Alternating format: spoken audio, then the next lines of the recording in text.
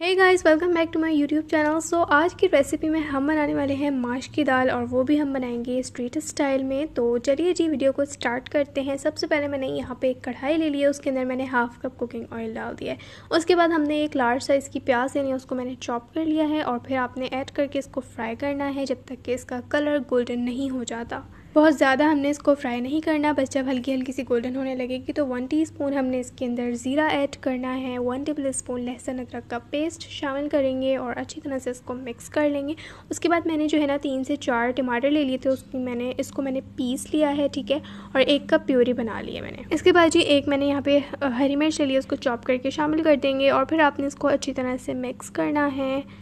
और फिर हमने इसके अंदर कुछ स्पाइसेस वगैरह ऐड करने हैं। तो सबसे पहले शामिल करेंगे वन टीस्पून लाल मिर्च पाउडर नमक अपने टेस्ट के हिसाब से ऐड कर लीजिएगा। मैंने वन टीस्पून डाला था हाफ़ टी स्पून हल्दी पाउडर शामिल करेंगे हाफ़ टेबल स्पून डालेंगे ज़ीरा पाउडर और इसी तरह से हमने हाफ़ टेबल स्पून इसमें शामिल करना है धनिया पाउडर बस जी, इसके बाद आपने अच्छी तरह से इसको मिक्स कर लेना है और फिर आपने कवर करके इसको रख देना है मीडियम टू लो फ्लेम पे तकरीबन 10 मिनट के लिए। 10 मिनट में हमारा जो मसाला है वो अच्छी तरह से भुन जाएगा और उसके बाद हमने इसके अंदर जो है दाल शामिल करनी है। ठीक है तो मैंने माश की दाल ले ली थी 250 ग्राम्स उसको मैंने पहले भिगो दिया था एक से डेढ़ घंटे के लिए और फिर बॉयल कर लिया था नमक डालकर। और ये बॉयल मैंने फुली बॉयल नहीं की है एट्टी है। ठीक है और ट्वेंटी परसेंट हमने इसी में बॉयल मतलब पकानी है। ठीक है जी, इसको, इसके बाद हमने जो है ना, इसको डाल देना है इसमें और अच्छी तरह से इसको हमने मिक्स कर लेना है और मिक्स करने के बाद फ्लेम को हमने मीडियम कर देना है। मीडियम फ्लेम पे रख के हमने इसको जो है ना कुक करना है पाँच मिनट के लिए मतलब भुनाई करनी है इसकी।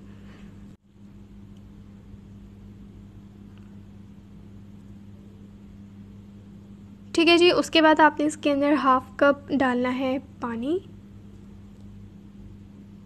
और फिर आपने इसको हल्का सा मिक्स करना है एंड देन आपने कवर करके इसको मीडियम टू लो फ्लेम पर रख देना है दस मिनट के लिए।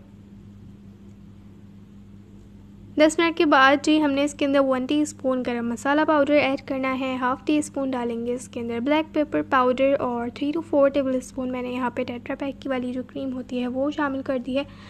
अच्छा ये स्टेप आप स्किप भी कर सकते हैं, लेकिन इससे जो है ना क्रीमी बहुत बन जाती है दाल, ठीक है? हरा धनिया मैंने थोड़ा सा स्प्रिंकल कर दिया, थोड़ी सी अदरक काट के डाल दी थोड़ी सी मैंने हरी मिर्चें ऐड कर दी हैं ऊपर से, और फिर आपने जो है ना, इसको हल्का सा मिक्स कर लेना है।